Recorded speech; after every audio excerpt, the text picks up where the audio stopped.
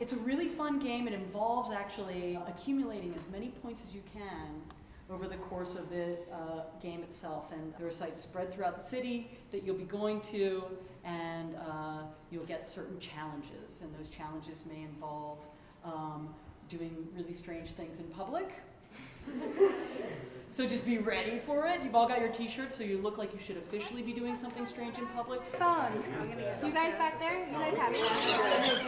Wait. Meyerson Hall, it's like right there. Yeah. Okay, okay. All right. Go. Myers. I was hoping to get your opinion on censorship in arts. These pictures were done at an art show at Penn. How long ago? It is. Excellent. Wow, they they Mapplethorpe. They even know. I think we should go to that one. Yeah.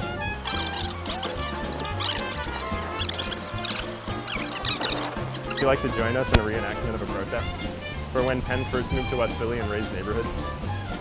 So like it was all students who like were like, Penn, you got to do something about this. You're razing West Philly neighborhoods, and we should help out the community around us instead of just razing it. Um, and that happened like 50 years ago. It's still an issue, of course. West Philly matters. West Philly matters.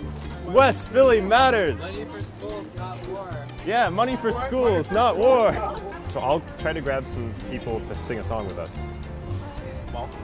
Do you guys want to? Do you guys want to find someone who celebrated Earth Day?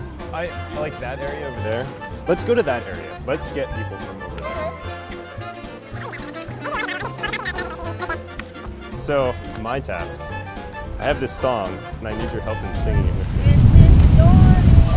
Age of Aquarius, age of Aquarius, Aquarius, Aquarius.